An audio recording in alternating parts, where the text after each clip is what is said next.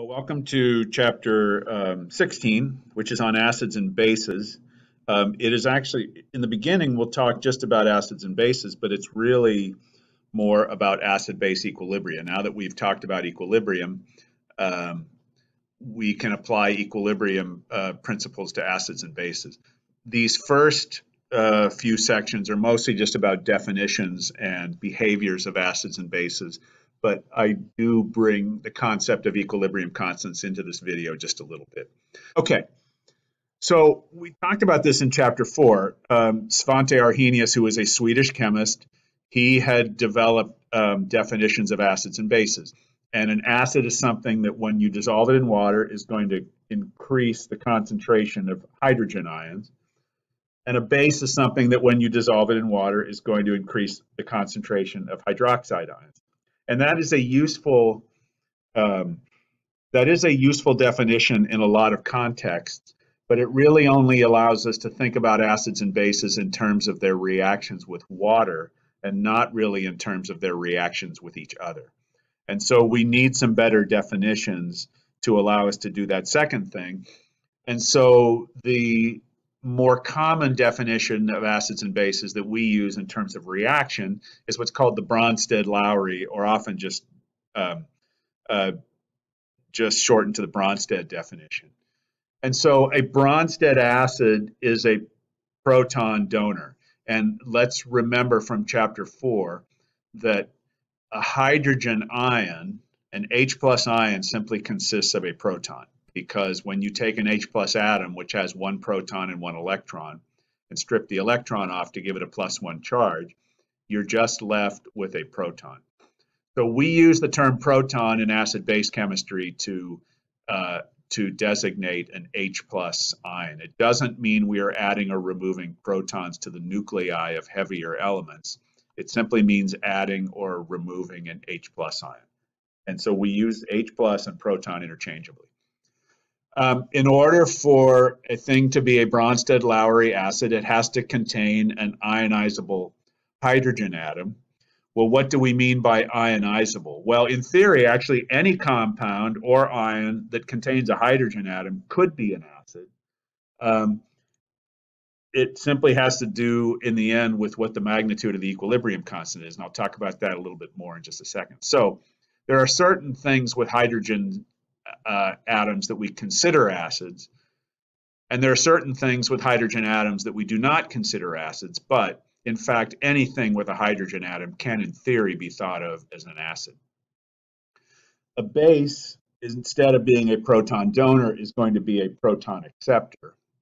Um, in order for a thing to be a base, it either has to possess a negative charge to accept that H plus, or a non-bonding pair of electrons. And because we take some chapters out of order, um, and so we're talking about acids and bases before we're talking about uh, bonding and Lewis structures, I'm really going to stay away uh, for the most part about talking about non-bonding electron pairs.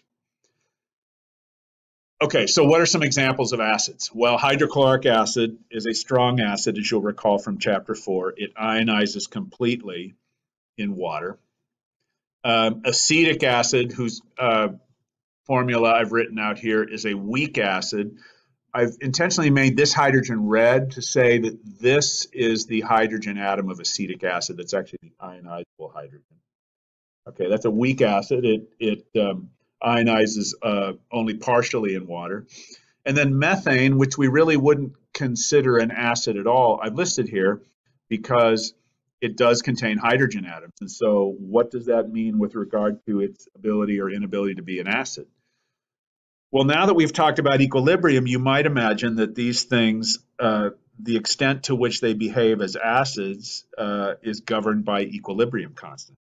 And so for hydrogen chloride, it turns out that the K for the ionization reaction is very high. It's about 100,000. And so when you put hydrogen chloride into water, it ionizes completely because it's got a huge K value, much greater than one. You might imagine for acetic acid, because it only ionizes partially, that it's got a K value less than one, and it does. The, the, the uh, value of K for the ionization of acetic acid is 2 times 10 to the minus fifth, and so it mostly remains intact. we can actually measure a, a equilibrium constant for the ionization of methane. It is 1 times 10 to the minus 60th, which is why you can appreciate that though in, in theory it's a, it is an acid, uh, it is for all intents and purposes a completely negligible acid because that's such a vast, infinitesimally small number that the reaction simply doesn't happen. What are some reactions of bases? Well, hydroxide would be an obvious example of a base. We've talked about that a lot. Uh, fluoride uh, is another example of a base because it has a negative charge, therefore it could accept an H+. plus. Um, ammonia is a base that we'll talk about uh, a fair amount. It does not have a negative charge. Let's think about how each of these things accepts a proton. In the case of hydroxide, uh, hydroxide can accept a proton to give you water. Um, fluoride could accept a proton to give you HF, hydrofluoric acid. And then this is the only foray into Lewis structures that we're going to do for the most part in this chapter. But ammonia, which has this structure shown in which a nitrogen is bonded to three hydrogens within a non-bonding pair of electrons, that non-bonding pair can be used to accept an H plus and form a bond to give you the ammonium ion. Now that leads us into, well, I'm sorry, before, before that, let me just talk about one more thing, which is what are called amphoteric species. And an, an amphoteric substance simply means a substance that could act as either an acid or a base. So what would be some examples of that? Well, the bicarbonate ion, remember uh, baking soda is sodium bicarbonate. Because this has a negative charge, it can be a base and accept a hydrogen. Because it has a hydrogen atom on it, it could be an acid and donate a hydrogen. So bicarbonate is an example. Bisulfate is another example. Once again, it has a negative charge to accept an H+. plus. It has a hydrogen atom to donate an H+. plus. Water, although it doesn't have a negative charge, does, like uh, ammonia, has non-bonding electrons. So it can both donate a, uh, a, a, proton to form the hydroxide ion, or it can accept a proton uh, to form the hydronium ion. So each of these can either donate or accept a proton. Now, if we're this conversation about what happens when a thing donates or or accepts a proton and what it forms leads into the conversation about conjugate acids and bases. And so conjugate really is a term that describes the relationship of certain acids and bases to each other. You could talk about um, let me just try and give a sort of a human example of this. If we talk about Mr. Shaw, okay, Mr. Shaw is a man. Uh, Mr. Shaw is also a husband. He is Mr. Shaw, the man, to everyone, but he is only uh, the husband to one person. Or we can talk about Ms. Garrett, the woman. She is Ms. Garrett to everyone, but she is only a wife to one person. And so that is something to keep in mind when we start talking about conjugate acids and bases. A conjugate, because they come in pairs. So if you are an acid, you have a conjugate base. If you are a base, you have a conjugate acid, and they come in pairs. They're, the identity of your conjugate partner is very specific to your formula, and we'll talk about this in just a second. So, but more generally, a conjugate acid-base pair are two species that differ from each other only by the absence or presence of a proton or an H+. plus. So when you remove an H plus from an acid, you form its conjugate base. When you add an H plus to a base, you form its conjugate acid. What's important to understand is there, there's not a difference. There's not some things that are acids and other things that are conjugate acids. And there's not certain things that are bases and other things that are conjugate bases every acid is the conjugate acid of something, and every base is the conjugate base of something. And we'll again get into descriptions of how to figure that out in just a minute.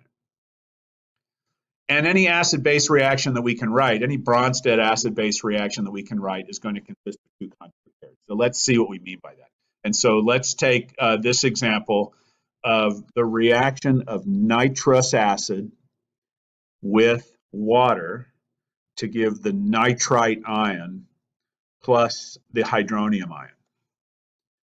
And so any acid, any proton transfer reaction that we write like this, we can classify, we can look at the reactants and classify one of them as an acid and one of them as a base. In this case, the nitrous acid is the acid because it is donating an H plus to go over and become nitrite. Water is the base because it is accepting an H plus from nitrous acid to go over and form hydronium. Well, because we've written this as an equilibrium, we can also identify um, acid and the acid and the base for the reverse reaction. And this is actually a reaction whose K value is much less than one. And so it's actually the, the reverse reaction that's favored at equilibrium. If we go over here and say, what is, what is donating a proton to go over to the other side? It's the H3O plus. It's donating a proton to form water. Nitrite is accepting a proton to go over here and form nitrous acid. And so we can look at that and identify an acid and a base on both sides. Now remember, we defined a conjugate acid-base pair as being two species that differ only by the presence or absence of an H+. plus. And so we can say, hey, we've actually got two conjugate pairs here, nitrous acid and nitrite. What's the difference between nitrous acid and nitrite? It's an H+. plus. The acid has it, the base doesn't. If I lose the H plus, I become the base. If I add the H plus, I become the acid. This is the this is a conjugate pair. Similarly, water and hydronium are a conjugate pair. If I add an H plus to water, it becomes hydronium. If I remove an H plus from hydronium, it becomes water. These two species differ only by the absence or presence of an H plus. So any Bronsted acid base reaction is going to have two is going to contain two conjugate pairs. The the key thing to understand is that one member of each pair is always going to be on either side of the arrow. Nit nitrous acid, nitrite, water, hydronium. It's never the case that these two on the reactant side are going to be a conjugate pair or the two on the product side are going to be a conjugate pair. The, the pair is always going to take one partner from one side of the reaction and one partner from the other side of the reaction. So given that that's the case, um, let's go back to those amphoteric species because this makes a great problem. And I'm going to give you, because these can go in either direction, then each one of these has a conjugate acid and each one of these has a conjugate base. So the question to you is, take a look at these three species and see if you can write down what the conjugate acid of each of these three species is. Okay, so what is the conjugate acid of each? What is the conjugate base of each? Well, here are the conjugate acids. Remember, to go from a base to its conjugate acid, you add an H+. plus. When I add an H plus to bicarbonate, I get carbonic acid. When I add an H plus to bisulfate, I get sulfuric acid. When I add an H plus to water, I get hydronium. So each of these is the conjugate acid of the corresponding species in the middle. What about the identity of the conjugate base of each? Well, to get from an acid to its conjugate base, you remove an H+. plus, And so the conjugate base of bicarbonate is carbonate because that's what you get when you remove an H+. plus.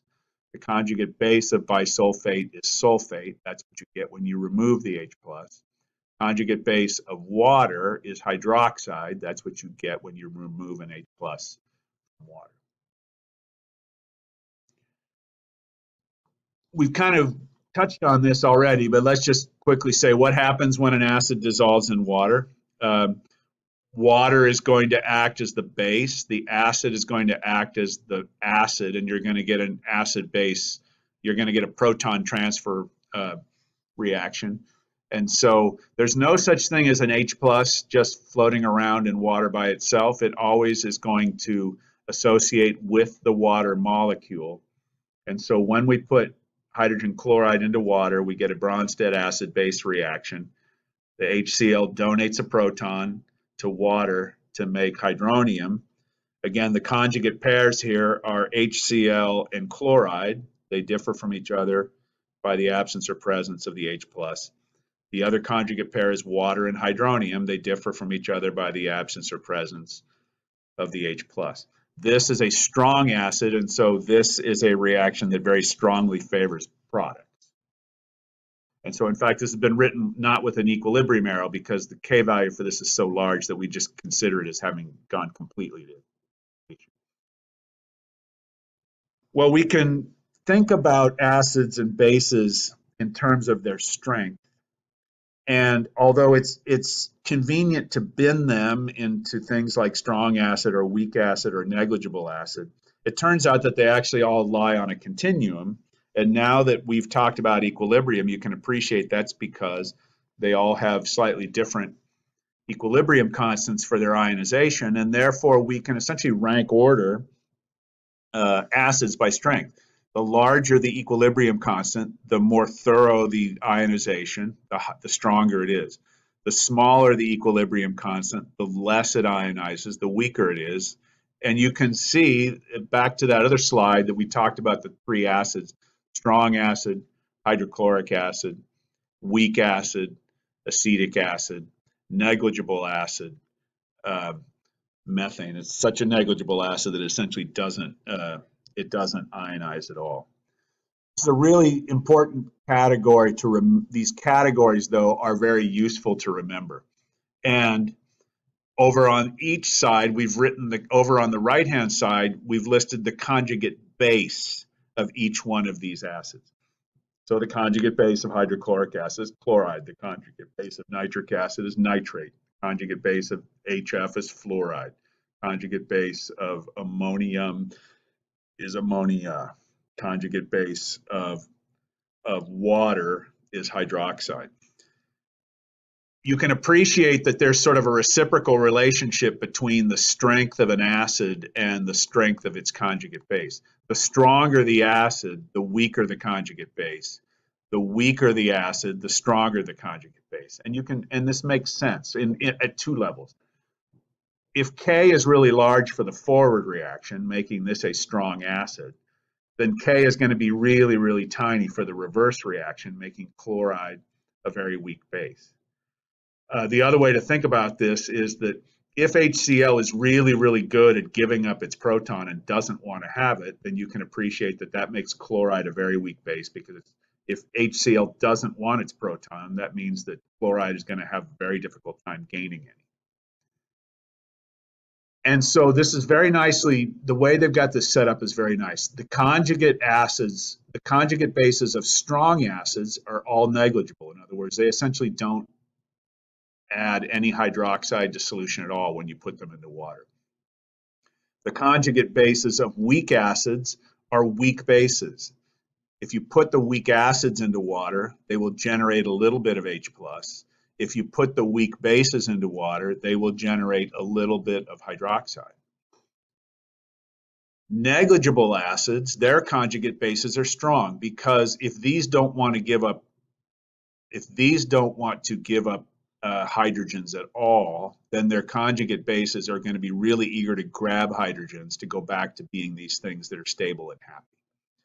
And so anything that's a strong base, which would be from hydroxide on down, is something that when you put it into water is going to give you a stoichiometrically equivalent amount of hydroxide.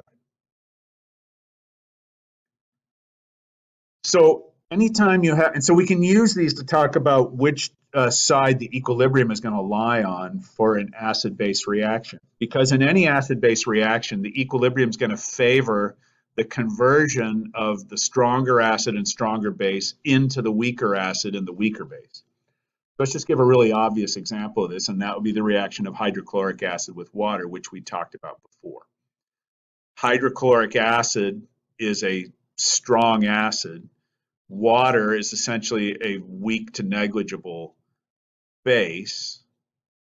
So um, it's well, water is a weak base. And so that's going to form hydronium ion plus chloride. If we think about this, water, although being a weak base, is a stronger base than chloride. Hydrochloric acid is a stronger acid than hydronium. Let's just go back to that table. Hydrochloric acid is a stronger acid than hydronium. Water is a strong, even though not a strong base at all, is nevertheless stronger than chloride. And so you're going to favor the reaction of the stronger acid and the stronger base to form the weaker acid uh, and the weaker base. So let's um, let's now take this and and use a, an example that may be just a little bit uh, less clear, and that would be the reaction of of acetic acid with water. So if we go, and so here's the way to think about this. Using this rule, in any acid-base reaction, the equilibrium will favor the conversion of the stronger acid and the stronger base into the weaker acid and the weaker base. So the way to resolve this, which side is going to be favored at equilibrium here? The first thing to do is to go through and identify your acids and bases. In the forward reaction, um, acetic acid is the acid, water is the base. In the reverse reaction, hydronium is the acid, acetate is the base. Okay, now we compare our two acids. Which is the stronger acid? Well, if you went back and looked at that table, you can find it in your book. Hydronium is a stronger acid than, um, than acetic acid. And therefore, hydronium is the stronger acid. Acetic acid is the weaker acid. Remember, the weaker the acid, the stronger the conjugate base, and vice versa. So because acetic acid is the weaker acid, acetate is the stronger base, kind of animated these out of order, because hydronium is the stronger acid, water is the weaker base. And so we said that the reaction is going to favor the conversion of the two stronger species into the two weaker species and therefore this reaction is going to favor reactants. Um, well, this video has gone on long enough, and so I will save the uh, description of the P function to the next one. So what would you expect in terms of a QOD? Probably things around uh, relative, uh, identifying conjugate partners. So identifying conjugate partners would be a good thing to talk about and then probably a little bit of what we've just been talking about about using a table or data given to you to identify in a reaction what's the weak base, what's the weaker base, stronger base, weaker acid, stronger acid. Um, and so please try some of the suggested problems and we'll see you in class for the QOD. Thanks.